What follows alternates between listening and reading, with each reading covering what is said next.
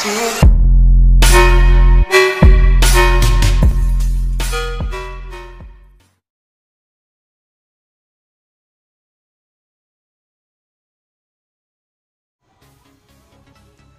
guys, welcome to Jtron TV. Ah, gumawa ako ng video para sa tutorial na paano i-activate ang developer at paano ipakita yung show touch katulad sa iPhone.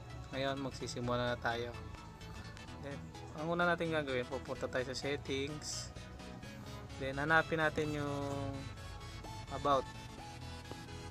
Then hanapin natin yung software information dito dito natin i-activate yung developer paano siya buksan i-activate pipindutin lang natin 3 or more tong build number 1, 2, 3 dahil dahil developer na ako hindi ko na kailangan mag yan. Pinakita ko lang sa inyo paano siya i-activate. Then back natin guys.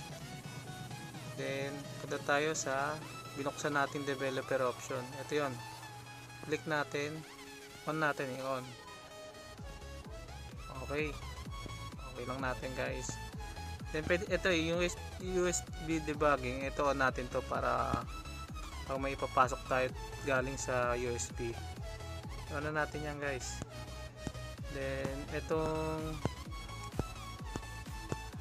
show touch ito yung sinasabi ko katulad sa iPhone papakita ko sa inyo paano siya mag function on na. Natin ha then ayan.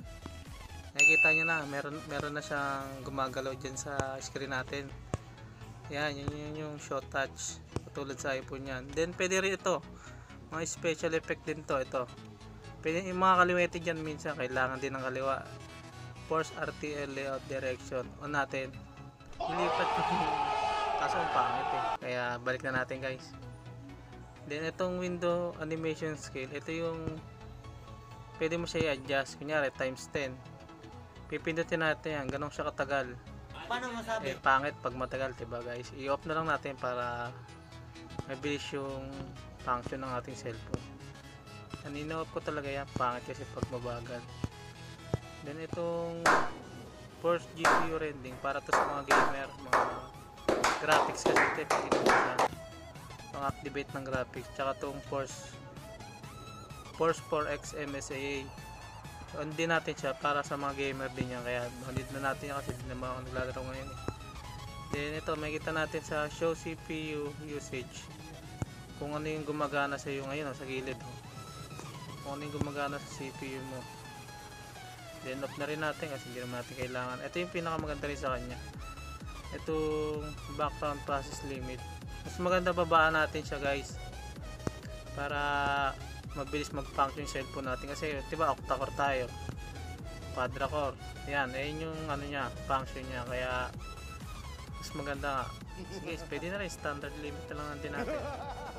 Okay yan ito this, don't keep acti activities. Ito pwede natin siya i-on para pag hindi natin ginagamit yung cellphone natin hindi, hindi, hindi siya nagpa-function yung gumagana pa rin yung mga background ano, application. Kaya pwede siyang i-on.